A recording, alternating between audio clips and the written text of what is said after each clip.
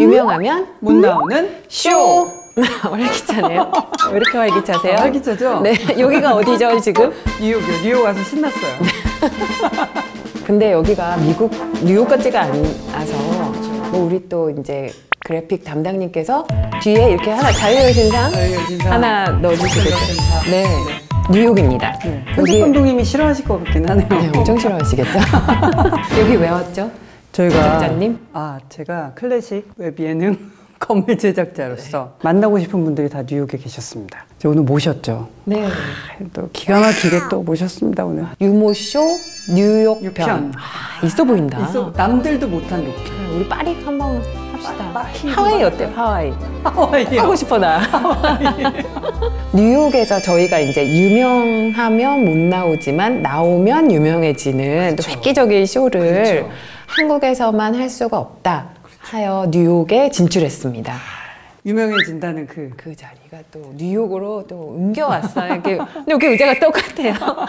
아니, 그 의자랑 이 의자랑. 되게 되게 방송 잘하시네요. 방송쟁이 다 됐어요. 아, 지금 뉴욕에 오니까 또 기가 자유의 그 기가 뉴욕 편 시작하겠습니다. 고고고. 유명하면 못 나오는 쇼! 오. 뉴욕 스타일, 뉴욕 스타일. 뉴욕 스타일. 뭐, 무슨 뜻? 이거 뭐예요? 박영규 아니에요? 박경규. 바이올리니스트 송지원입니다.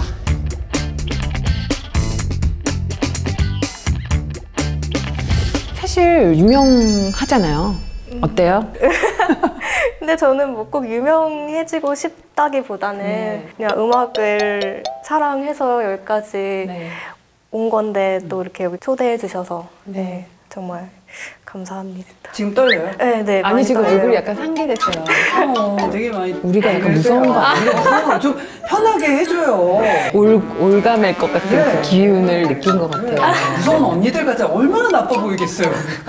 아니 근데 사실 우리가 지원 씨를 모실 때 송지현 씨가 콩쿠르 퀸으로 유명하죠.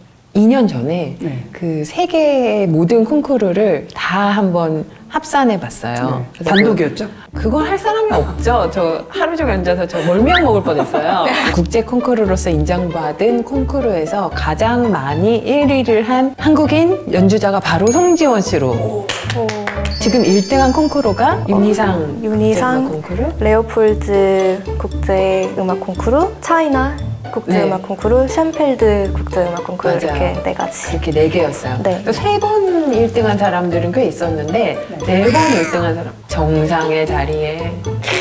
그래서 저희가 또 뉴욕까지 온 거 아니에요? 그쵸. 송지현 씨 만나러 뉴욕까지 왔습니다. 네. 아, 감사합니다.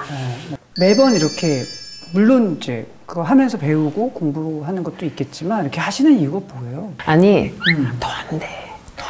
더안 돼. 지금도 한 돼. 아니 그보다 네. 그에 앞서서 우리가 일단 이제 보시는 분들한테 정보를 드리려면 아, 네네. 몇 번을 나갔고 어, 어. 언제부터 나갔는지 아, 얼마나 역시. 콩퀸인지 아 역시 이렇게 하는 겁니다. 그러네요. 네. 방송쟁이 다 됐네. 박수 치시네요.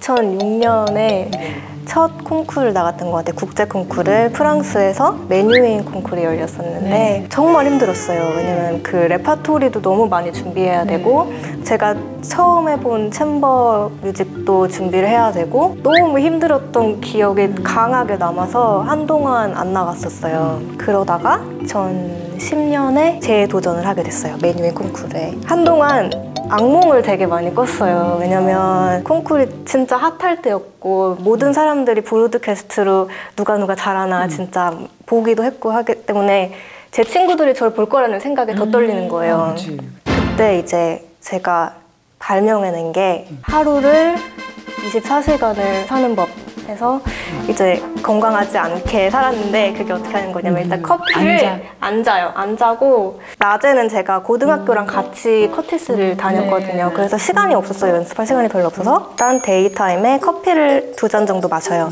새벽 12시가 되면 그때부터 학교 갈 때까지 연습을 연습을 하는 앉아요. 거예요.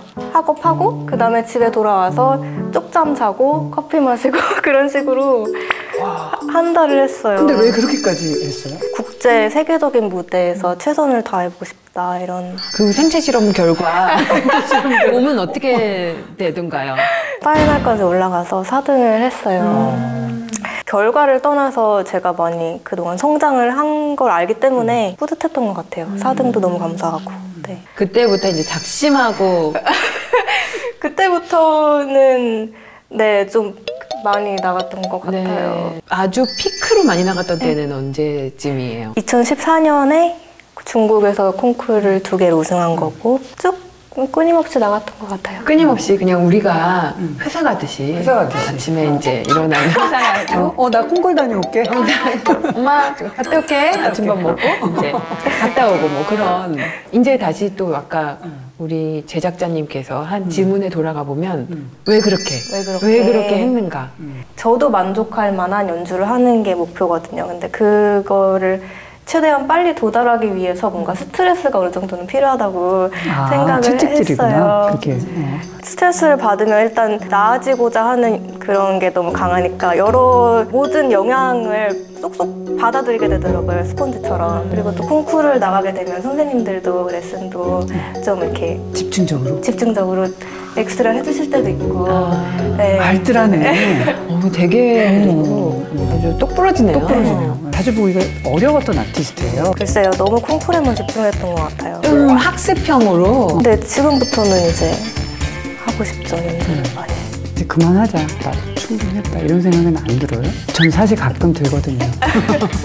들지 않을까? 나 거의 중국 시장을 보면. 노렸어. 중국 깡시장. K 바이올린. 어.